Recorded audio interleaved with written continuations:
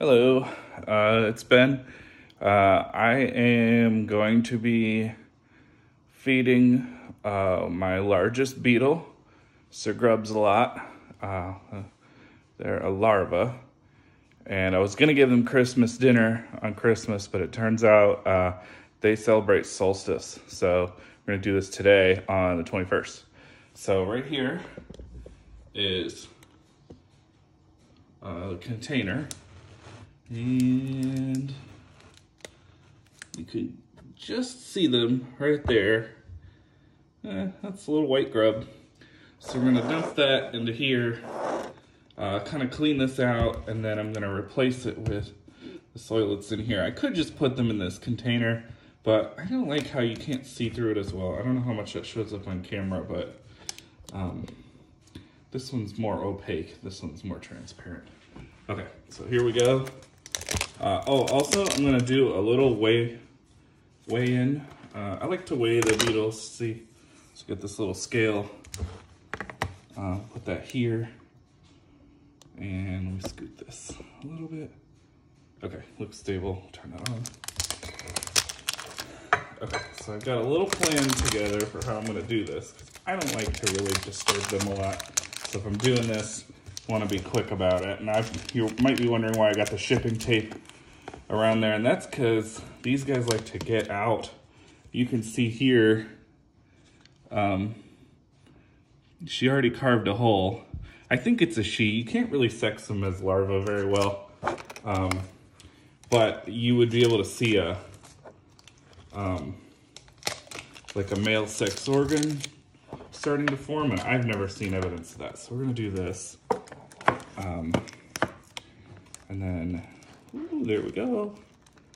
Okay, so I'm gonna kind of scooch this so that we don't lose her. She's pretty big, so I don't want her to get injured and fall. Okay. So uh, you can see her here. She's pretty large. Um, I'm gonna go see if I can knock this out.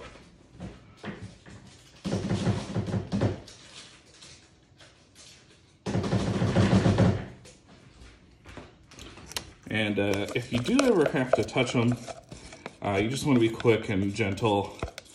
Uh, but I like to have this plastic spoon uh, for handling, especially the littler ones. It'll be too small for us to grab a lot.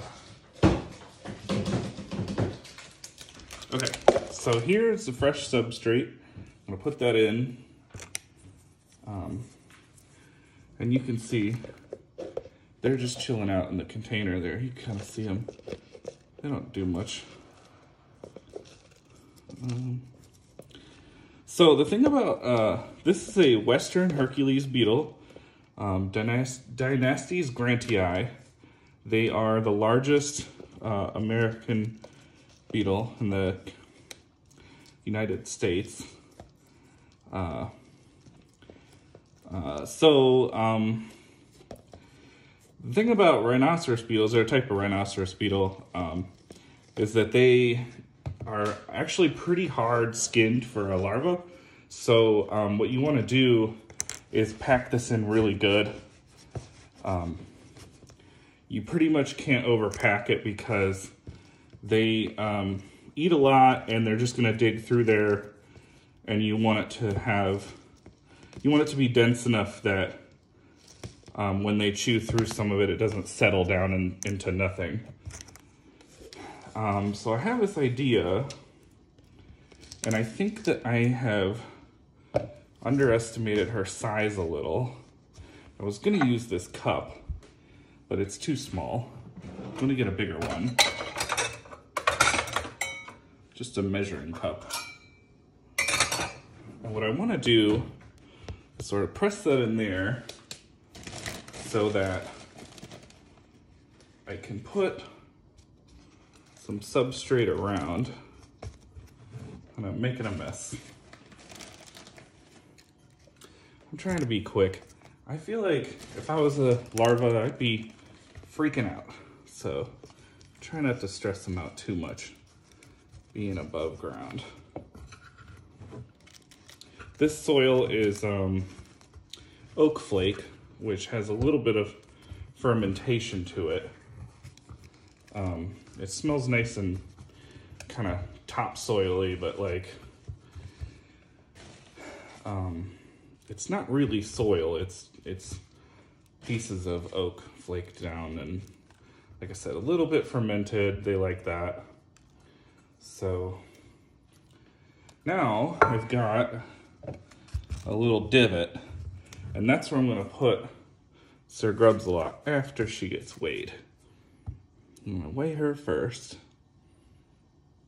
Okay. Now, like I said, rhino beetles are really thick skinned, so little beetles you have to be real delicate with, but she's pretty thick skinned. Uh, I can hardly move her. She's very muscular. Um, look at her face. She's got like a little bug pinchers. She's like, see her? Anyways, uh, so we're gonna put her here. And okay, so she has gained a little bit. That's not a lot of weight, but if she's been pretty inactive lately. So I'm gonna just tuck her in at the top. And then I'm gonna put more fresh substrate in here. Um, just over top of her. Now I don't want to pack her in, which is why I kind of placed her near the top. Um, now rhino beetle's pretty sturdy. I don't think you'd hurt it, um, but there's just no reason to squish them. Um, so there we go. There's Yuletide Feast. Let's see if we got enough. I may have to replace this shipping tape. Yeah, so hopefully happy beetle larva. So that's it. Uh, happy Yuletide to uh, you and whatever holidays you celebrate. Um, here's my little beetle. And there's the old soil. Okay, bye.